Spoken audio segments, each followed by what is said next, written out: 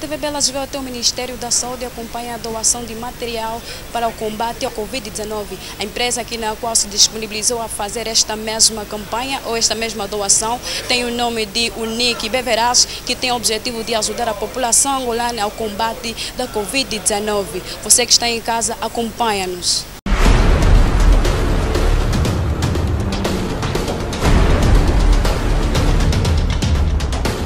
Acabamos de doar uh, 10.200 unidades, nove, uh, dentro dela foi uma mistura entre álcool de 96% e álcool de 70% e 9.800 unidades de álcool em gel. Nós estamos a receber 300 caixas. As 300 caixas são divididas em três formulações. Quando eu digo três formulações, temos o álcool gel, 100 caixas, cada caixa leva 28, 48 frascos. Temos 100 caixas de álcool, etílico de 96% também. Cada caixa leva a mesma quantidade, 48 frascos. Álcool, 70% também a mesma quantidade. Então são os três produtos que nós estamos a fazer a recessão.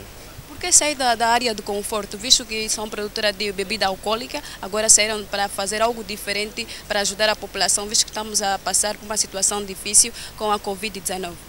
Faz parte de, de, do plano de responsabilidade social da empresa, uh, apoiar as causas mais necessitadas uh, e o, seguindo as orientações do, da Organização Mundial da Saúde, o uso do álcool gel e o uso do álcool etílico era extremamente necessário uh, e dentro das nossas capacidades e possibilidades assim foi o permitido e então decidimos avançar com este projeto. entramos agora nesta fase inicial de fazer esta doação ao Ministério da Saúde.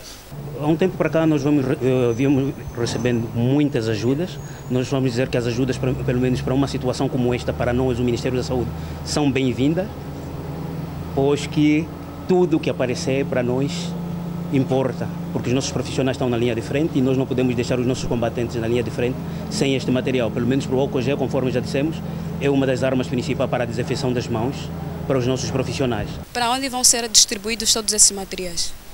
Uh, como disse há pouco, estamos a aguardar as instruções do Governo Provincial. Uh, assim que tivermos essas instruções e dentro das nossas capacidades, iremos a fazer. Quais são os últimos objetivos da mesma empresa? Vai, vai continuar ou vai, vai parar por aqui? Não, a empresa vai continuar, não ficamos só pela produção do, do álcool gel e do álcool etílico, veremos de encontrar outras soluções mais criativas para combater a prevenção do, do Covid-19.